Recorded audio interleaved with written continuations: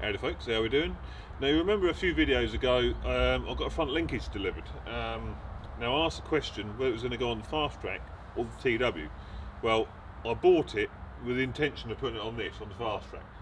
Um, because the TW has already got its weights, you know, it's got belly weights and front weights already, so that's not really needed in front linkage. But this, um, I haven't got any weights for it, and uh, it's an ideal candidate, stick a front linkage on it. So um, basically, let's uh, offer it up and see how it fits, shall we? Now this linkage come with a basically a frame, a big frame that's probably about five foot long, that um, bolted on here at either side, because uh, it was on a Massey Fergie 6480. Um, well, I don't need none of that, because um, the Fastrac is a full frame design, which basically means I've got a chassis all the way forward here. So all all of this metalwork here is is strong and is bolt you know I can bolt it onto it. So um, whereas like the Massey, I'm sure that Massey, lot of New Hollanders have got a stressed engine block, so the engine block forms part of the chassis. It's you know it's it's a structural component. Whereas on this, the Cummins 6BT just sits in the chassis, if you know what I mean. The chassis does the chassis is where the strength is. So um, let's get this uh, lifted up and uh, see how it fits.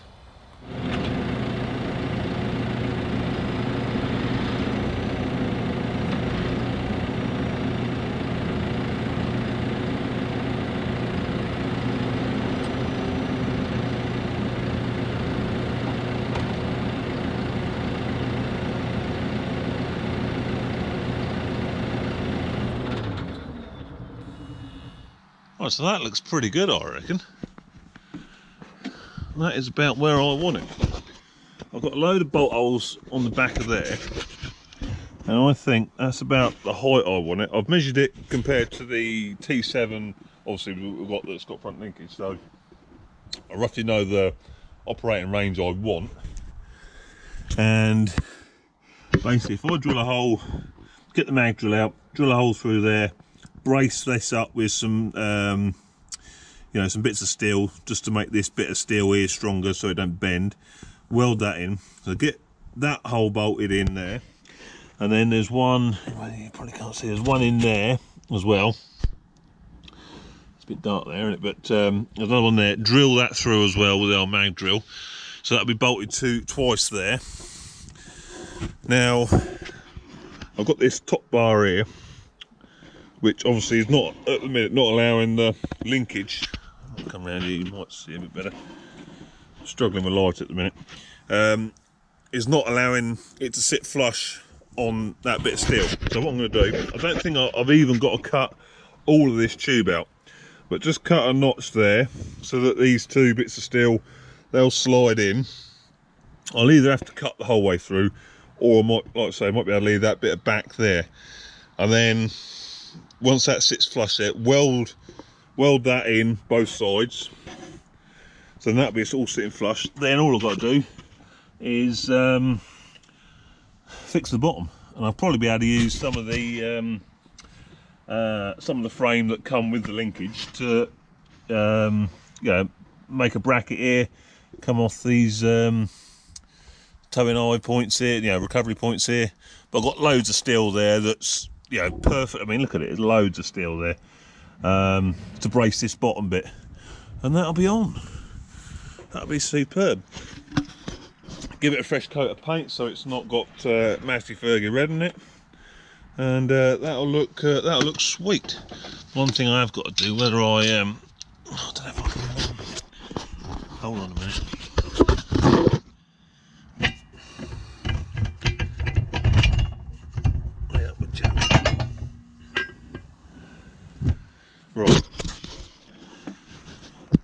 Now one thing I have got to do, when I've took that uh, ram out, you can see there we've got elongated holes there, which is not good.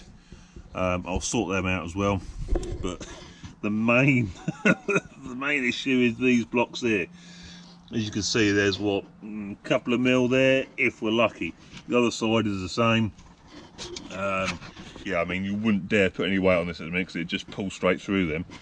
They are poor. So they'll have to be cut off. Um, and I'll just make some new ones because these are two bits of steel welded together anyway, which is not ideal. So cut them off, um, get some new chunky steel, again, mag drill a hole through, and um, that'll be fine. Top ones are all right. It's just where it's been pivoting on the bottom. It's really, really killed that um, hole, isn't it? So um, yeah, they were lucky it didn't. Uh, it didn't give up the ghost. You know when it had whatever it had on it last. So that's pretty much the only thing I've got to do to um, the linkage itself.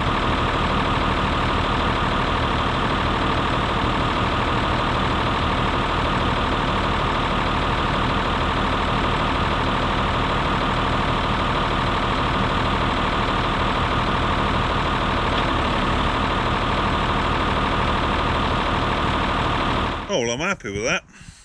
I ain't going to take too much fettling at all to get it on there, I don't think. Um, I mean, it's only got single acting rams on it at the minute, which basically for those that, um, you know, I know, I know that not everyone who watches the channel is engineering minded or agriculturally minded. Single acting ram means it's only powered one way, so you've only got the one port. So basically, um, it'll um, power up, but it's gravity down. But to be fair, um, what's it going to be doing? It's going to be carrying a weight block most of the time. It um, might have it on the baler and it might carry the uh, the, the squisher wheels.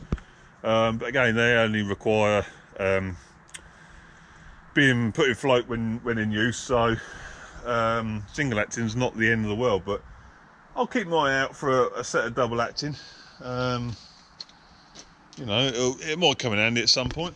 But uh, like I say, we've got the it's piped up to go to the back at the minute, which is how it comes. But I have got set of steel hydraulic pipes going in. Now I've not actually traced them yet. Um, I'm not gone under there and trace where they go, but um, that is a possibility to run this front linkage off of them. You know, I've got double acting capability, of, obviously off of them, like, um, but I'd need the rams to do that anyway. So, um, but uh, yeah, so happy with that. Really happy with that. Well, so all I need now really is a day to um, get that fitted. Should should take too much work, I don't think. Um, yeah, well happy with that, and it looks. I know, I know it's getting dark now. You can't really see, but it'll look fine on there. Like really will. Um, and it'll, you know, I'll get myself a bumper for it or a front weight block, and it's just so easy to put weights on and off them, it? Like you know. So um, yeah, so at least you know what's happening happening with it and where we're at with it. Um, let me know in the comments below that if you want me to. I mean, I presume a lot of you will want me to do a video of, of, you know in the process of fitting it and all that sort of stuff. Although I always find them videos really tricky because it takes such a long time and to get um, to get it edited, you know, get a video edited down so that it's watchable, and it's not easy. It's really I've, I've done it before, and it's really tricky to get a you know a compact video of a job that takes a long time to do. But um, let me know in the comments anyway if you want me to see it, see me fitting it to it.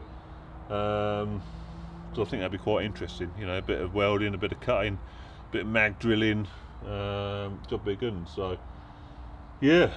Anyway, hope you enjoyed that little video. Love the old UTV uh, lights. They do look tidy, don't they? That's just the um, uh, the DRLs, the daylight running lights, and LED obviously. They look sweet, don't they? So um, anyway, hope you enjoyed that little video. I'm off to go and get my tea because it's um, Wednesday night, fish and chip night. And uh, yeah, see you on the next one. Ta-ta.